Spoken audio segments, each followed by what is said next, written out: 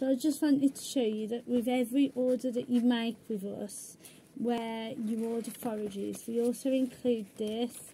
So you get some empty tea bags and some instructions on uh, making infused water with the forages.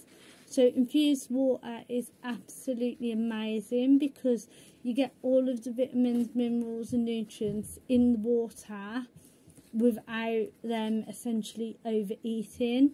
So instead of giving them, so obviously we've got mix here, so instead of giving them um, this one day, um, and you've get you've already gave them sort of fruits, veggies and whatnot, so you can't give them any of this, but you want them to feel the benefits of the tranquil, tranquil, tranquil meadow, which is obviously um, a relaxing, um, a really beneficial forage for helping them feel calm and chilled and relaxed, especially in those moments that might be quite stressful. So maybe a car ride or something like that.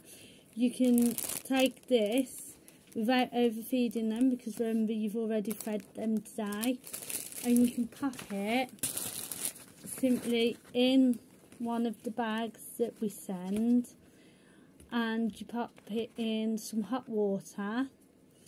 You infuse it like you would a tea so you let it seep. You let all that goodness come out into the water and then you um, let the water cool down. And once the water's cooled down you pour it into their water bottles or their water bowls or whatever it be. And then they get the full benefits of the Tranquil Meadow, Meadow Blend. So all that relaxing and amazing power that this blend has. They get all of that, all of the nutrients, all of the vitamins, all of the minerals. And you haven't had to feed it to them and overfeed them that day.